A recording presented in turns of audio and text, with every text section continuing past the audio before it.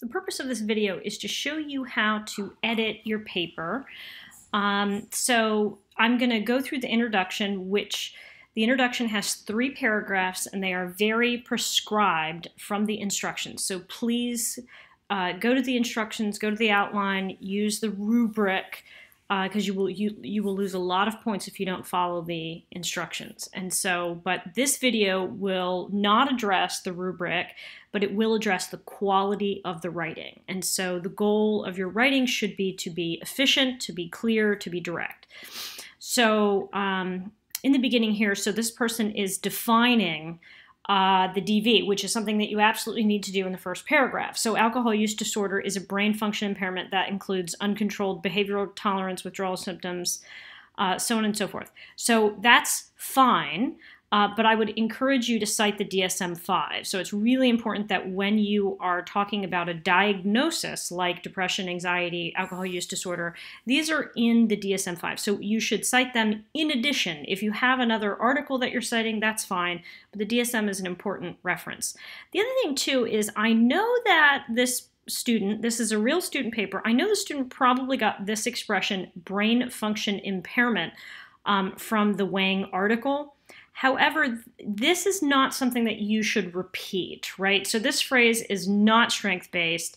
You know, can you imagine sitting down with your client saying you have a brain function impairment? It's it's kind of an insult. It, it just sounds like you're saying, you know, um, well, it's just it's a bit of an insult. So that is not how we should describe it in person with a client or in writing. So I'm going to just delete that part. Um, alcohol use disorder includes. So we just skip that that uh, phrase, and there we have a better, more direct sentence. Um, other things. Then the next sentence here is a little confusing. It's a little uh, kind of wordy, right? Military veterans, both during active duty and afterwards. What do you mean by afterwards? Uh, I assume you mean when they transition to civilian life. Um, or you know something along those lines. But I would I would rephrase this a bit, and I might say um, maybe active duty soldiers and veterans are at significantly higher risk than the general population to abuse alcohol. Now, this sentence should have a reference, um, but they didn't they didn't reference anybody, so I'm, I'm going to assume that they got this from Wang.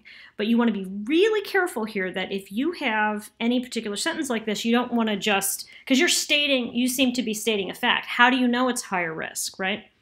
Um, but then if you look in the next sentence, this is where they provide the statistics to back it up. They're saying prevalence rates suggest that military folks, 42 or 43 percent, um, misuse alcohol, whereas the general population is 30 percent.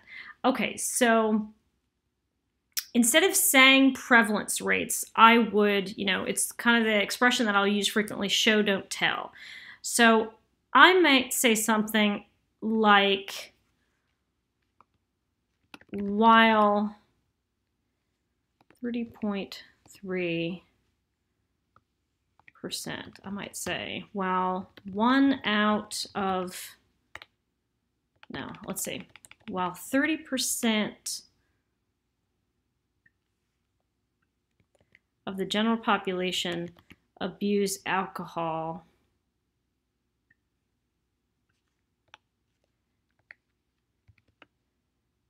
military veterans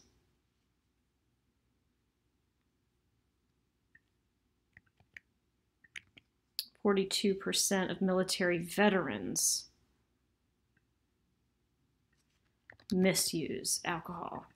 So some of the edits here are to make it more direct, more clear, more direct, less words. One of the goals, or one of the things I'll repeat over and over again, is how many of these words can you delete and still retain the message? While 30% of the general population abuse alcohol, 42% of military veterans of military veterans misuse alcohol. The other thing, too, is I would take off the 3 because if you round this, then instead of 30.3, you just say 30%. Now, if it says 30.6, you want to round it up to 31%, right? You want it to be accurate, but um, I think that's perfectly fine there. Um, not only are veterans significantly more likely to develop AUD, 55 to 68% of veterans experience PTSD and AUD simultaneously. So, really, the, the word that you're looking for her, here is co occurring disorder. So, um, not only veterans significantly more likely to develop AUD, we want to say, but 55 to 68% of veterans, and, and we're saying veterans in every sentence. So we know who the population is. We're not confused. So you don't need to keep repeating it over and over and over again, right? Um, not only are veterans significantly more likely to develop AUD, but 55 to 68% of veterans experience co occurring PTSD and a AUD. So we don't have to say simultaneously. Okay. Then social workers are called upon to fight injustice on behalf of oppressed and vulnerable groups, drawing on their knowledge. Now, when you say there, you have a pronoun, but in the phrase before, you indicated two different groups of people social workers and vulnerable groups. So, drawing on their knowledge, do you mean drawing on the vulnerable group's knowledge or the social workers? We assume you mean social workers but when you use the pronoun, it, it is unclear. So you want to be more specific um, when you're doing that. So drawing on social worker knowledge, skill, and values to help those in need and address social problems. It's a little wordy, but um, I'm going to leave it. All right. AUD, so this sentence is definitely wordy. AUD is a leading con- contributor to the decline in overall well being and the quality of life for veterans when they return home and can often lead to homelessness, mental issues, mental health issues, poverty, and other social problems. What I like about this is this person actually synthesized the literature a little bit. So, what they did is they found two articles and found what those articles had in common, found what the crossover was between them, and then created sort of a small synthesized sentence. So I might revise this a bit to say alcohol is a leading contributor.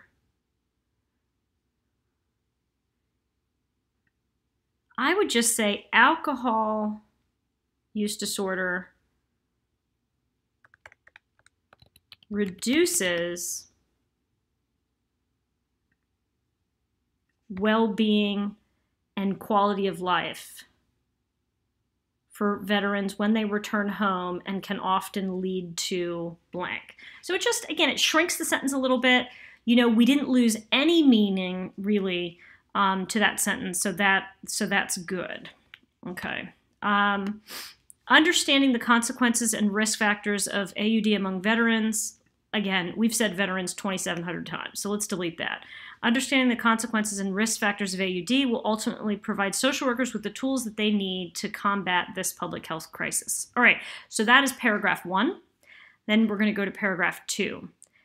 Here it gets a little confusing. Are there four interventions? Are there two interventions? As we continue to read, we figure out that we I think there's two interventions. So intervention strategies used to treat AUD include the combination of veterans treatment courts and a co occurring disorders intervention, CBT with peer support, and personalized normative feedback. So you might want to, because there's so many, and you have this and here that makes me think that you're combining them, right? The other thing too is when you say a co occurring disorders intervention. Well, what does that mean? Because there are no interventions that are named co occurring disorders, right? But I think what you're trying to say is that they're treating both disorders at the same time, right? If it is a specific intervention like CBT or personalized normative feedback, it has a name, right? So in this case, it does it doesn't have a name, so we might like we might rephrase that a bit. So I might say three interventions. And you don't have to say strategies, it's a little bit redundant. Because again, we want to make this as succinct as possible. Again, you don't need the word use there. Three interventions to treat AUD include veteran treatment courts. And I'm going to just take this out. You can go into more detail about what that is in the literature review, but this is just the introduction, so we're just introducing these things. CBT, again, I'm going to delete this because you can go into that greater detail in the literature review. And personalized normative feedback, and we'll just delete the word intervention because, again, it's redundant. Three interventions, I would say, that effectively treat AUD include those three. So now, now that sentence is much more clear. Okay, so then, then we say a little bit more about the VTC, right? VTCs offer an alternative approach to addressing, and again, we've said veteran so many times, criminal behavior. Um, when a co-occur when a co-occurring disorder rehab intervention was embedded alongside VTC, improvements in behavioral health and criminal behavior incurred, including a decrease in illicit substance abuse among veterans. Okay, so that's okay, that's good. Um, it is kind of wordy, but again, um, it's vague here. When a co occurring disorder rehab intervention, what kind of intervention? Um, what are the issues? Are they in general? Um, when a co occurring rehab intervention was embedded alongside VTT, improvements in behavioral health and criminal behavior occurred. Okay, so we, including a decrease in illicit substance misuse among veterans. Okay, so we'll, we'll leave that as is. But one of the other things that we need to fix here is this is not according to APA. You don't put initials in your APA reference. You want to delete that. The other thing is every time you see any squiggly lines, you want to resolve them. You want to get rid of them. So I'm going to assume that this name is spelled right. So I'm going to say add to dictionary because we want to get rid of all the squiggly lines because the squiggly lines tell me that there's something wrong, right? Um, your computer word thinks that you're thinks that you're doing something wrong. Okay, so then we have the most effective intervention strategy used to treat is personalized normative feedback. So what so one, it is not the most effective of all time compared to the whole world. I think what you might mean is between the three, maybe that one is the most effective among the three, but I doubt that you have an article that's compared the three, right? So I think the real thing here is that you're saying that that this is the the one that you think is the best. Okay, so let's say that one uh, effective. We'll say one very effective intervention. No, just one effective intervention strategy. One one effective intervention used to reduce AUD among veterans is personalized normative feedback. Heavy drinking among veterans is often used as a tactic to cope with PTSD symptoms. PNF interventions have reduced drinking and alcohol issues for young adult veterans, especially those who use alcohol as coping mechanism. So, um, alcohol related issues, like what does that mean? Um, again, I might just delete that and say, really, it's reduced drinking. Again, you, you can go into more detail in the um, literature review. This is also a condition. So I might start this sentence as a condition. Among young adult veterans who use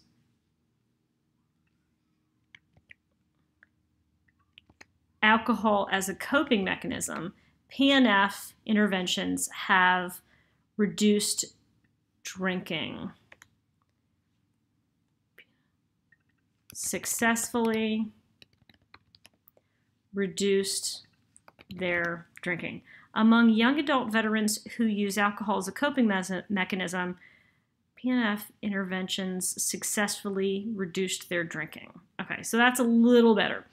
Um, third paragraph in the introduction. Risk and protective factors associated with the development of AUD include many different environmental and psychological characteristics. Again, you don't need many different. So let's just delete that, including PTSD. There is a direct relationship between alcohol misuse and PTSD among veterans. Good, that's a fine sentence. Prevalence rates indicate that veterans are more likely to be diagnosed with PTSD and AUD due to such factors as increased exposure to trauma. So again, I'm going to propose that we just delete this um, expression because we could just start the sentence with veterans are more likely, right? Remember, ask yourself what is the least amount of words that you can use in this sentence so the sentence doesn't lose any meaning or significance. Let's just go ahead and delete that. Start that sentence with veteran, veterans. More likely due to exposure to trauma. Okay, while there are many intervention strategies used to combat, combat, combat AUD among veterans, again, we say veterans all the time. Um, PNF interventions are the most effective at reducing. Again, compared to what? This can't be all programs. This can't be like the most successful program of all time. Uh, so you want to say something else there. Um, maybe is an important one. PN inter interventions are one of the most important and effective at reducing AUD among veterans. Um, the research question, okay, so we're going to actually delete the research question. We're also going to delete the hypothesis here. We only need an objective statement. So the objective of the study is to determine let's say, effective evidence-based interventions used to reduce alcohol consumption and the development of AUD among veterans. That's a pretty good objective statement for this paper. Okay, so that is this video was an example of how to edit your paper and how to edit your introduction. Um, oh, I forgot to delete this part here, the combination of all the crossed out words um, is just words that you don't need that you can delete to make this more efficient, more clear, more organized, more succinct. So uh, this video was about how to edit the introduction of your paper, the first three uh, paragraphs. The goal of your writing is to be more succinct and more clear, okay?